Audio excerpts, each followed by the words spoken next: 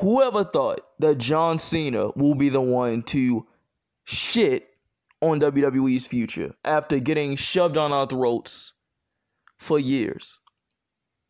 For being the company boy after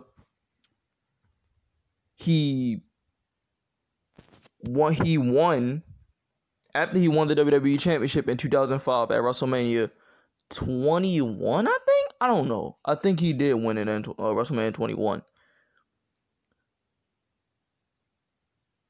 I never thought that John Cena will say something like this. Like I'm not gonna he didn't even really shoot on WWE. Basically, he said that the more WWE continue to um to support to um to call in age, agent let agent prospects, their company will be less stable.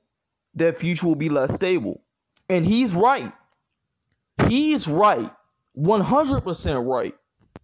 How long we been saying this? How long we here we've been saying this? We've been saying this shit for a long ass time. We've been saying this shit for a long time. And and I am so happy for John Cena for saying that.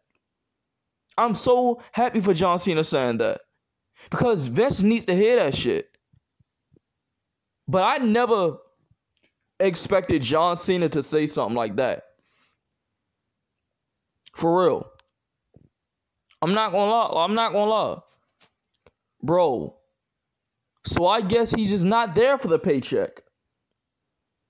Like Goldberg. John Cena actually wanna is actually he he shooted on on their future. It basically their future basically John Cena was saying that your future is not bright. If you continue to um if you keep continuing to uh to um keep if you keep pushing keep pushing agent prospects your future is one is is not looking bright. Your future is not looking bright. How many times we said that?